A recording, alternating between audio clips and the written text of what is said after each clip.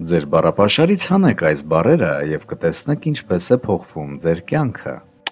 Ոչ միայն ձեր մտքերն են ազդում ձեր խոսքերի վրա, այլև հակառակը։ Փորձեք ձեր բառապաշարից հանել անպետք բառերը եւ ձեր կյանքը կփոխվի։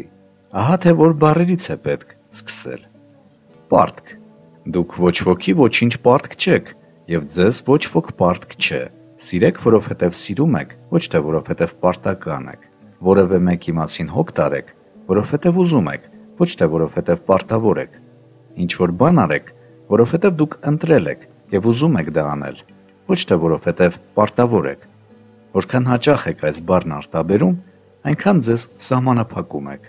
Փորձեք պարտավորեմի փոխարեն ասել բադ չէր լինի։ Հրաշալի կլիներ, եթե կամ ես ուրախ կլինեմ, եթե դու դա նախընտրես եւ այլն։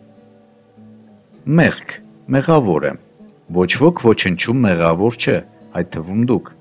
Դադարեք ձեզ եւ ուրիշներին ինչ որ բանում մեղադրել։ Սխալներ եւ մեղքեր չկան, միայն փորձ կա։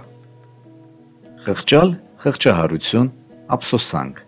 Այս բառերը միայն խղճահարություն են առաջացնում։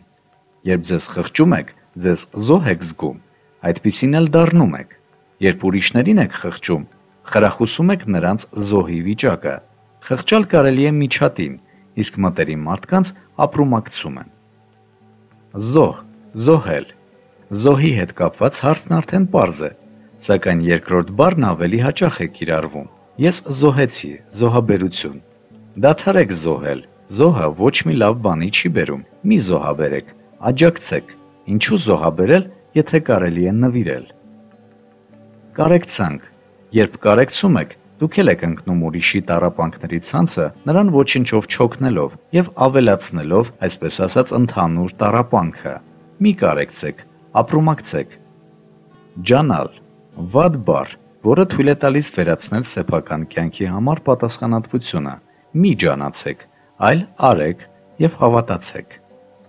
Նյութի տեքստային տարբերակը կարող է գտնել հոլովակի բնութագրի մեջ։